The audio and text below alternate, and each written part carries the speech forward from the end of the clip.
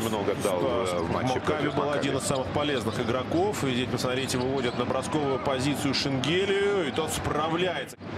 Здесь опять посмотрим Шенгелия против Миротича. Оставляют его в изоляцию. Вот та самая дуэль, Ох. дуэль, про которую мы говорили. Нет, Да. нет, не обыгрывает никто. Не, не- нельзя обыграть, все время есть подстраховка. Нет свободных бросков. Так, ну что, будет три броска. Не удалось. Швед сам пошел пообострять немножечко. Еще раз на Фохтмана. Две трешки подряд. Ну, просит, просит Фохтман мяч. Видите, как заряжен рядом с ним Калатес, но упало, мне кажется, забрало там у Торники. Но он тоже знает, что делать. Мяча без обострения. Еще один перехват. Это Фохтман.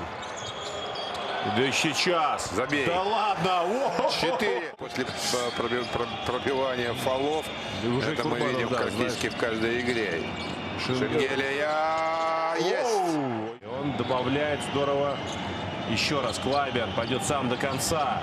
Невероятный Фокман в этой четверти дал импульс. Ну, конечно, 6 трехочковых. Сейчас сколько там было? Один промах или вообще 6? 6, 6, 6. Здорово. Его Лапровитова держит. А все бросающие. Хорошая подстраховка от Хейса. Это фол был, но его здесь не... Да, посмотрите.